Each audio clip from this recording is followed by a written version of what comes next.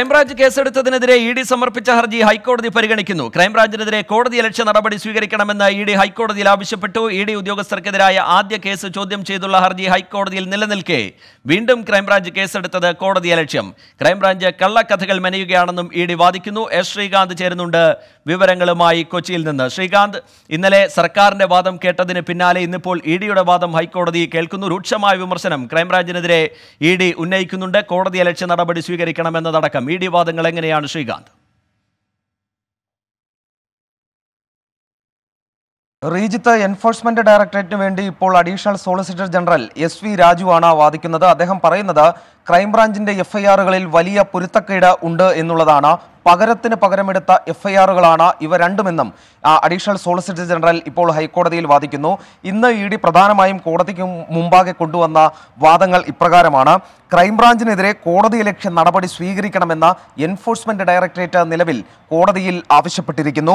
E D ഉദ്യോഗസ്ഥർക്കെതിരായ ആദ്യ കേസിൽ വാദം നടക്കവ തന്നെ ഈ ക്രൈംബ്രാഞ്ച് രണ്ടാമതൊരു കേസ് കൂടി രജിസ്റ്റർ ചെയ്തത് കോടതിയലക്ഷ്യമാണ് എന്നുള്ളതാണ് എൻഫോഴ്സ്മെന്റ് ഡയറക്ടറേറ്റിന്റെ വാദം. മാത്രമല്ല ക്രൈംബ്രാഞ്ച് കള്ളക്കഥകൾ മെനയുകയാണ് ഇ ഡി ഉദ്യോഗസ്ഥർക്കെതിരെ എന്ന് എൻഫോഴ്സ്മെന്റ് ഡയറക്ടറേറ്റ് ചൂണ്ടിക്കാണിക്കുന്നു. ഇ ഡി ഉദ്യോഗസ്ഥർ മുഖ്യമന്ത്രിയുടെ പേര് പറയാൻ നിർബന്ധിച്ചെന്ന് സന്ദീപ് നായർ മുൻപ് എവിടെയും പറഞ്ഞിട്ടില്ല.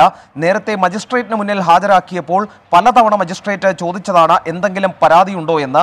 പക്ഷേ ഒരു തവണ പോലും സന്ദീപ് നായർ തനിക്ക് പരാതിയുള്ളതായി പറയുകയുണ്ടായില്ല എന്നും ഇ ഡി ഇന്ന് ചൂണ്ടിക്കാണിക്കുകയുണ്ടായി. എട്ട് മാസത്തിന് ശേഷം പുതുതായി സന്ദീപ് വാര്യർ ഇങ്ങനെയൊരു പരാതിയുമായി വരുന്നത്. ഇതിന് പിന്നിൽ ചില ഉന്നതർ ഉണ്ട് എന്നുള്ളതാണെന്നും ഇ ഡി ചൂണ്ടിക്കാണിക്കുകയുണ്ടായി. എന്തായാലും അഡീഷണൽ സോളിസിറ്റർ ജനറലിന്റെ വാദം ഇപ്പോഴും തുടരുക തന്നെയാണ്. ഈ എഫ്ഐആർ ക്വാഷ് ചെയ്യണം അത് റദ്ദാക്കണം എന്നുള്ള ആവശ്യത്തിൽ ഉറച്ചു നിൽക്കുകയാണ് ഇ ഡി.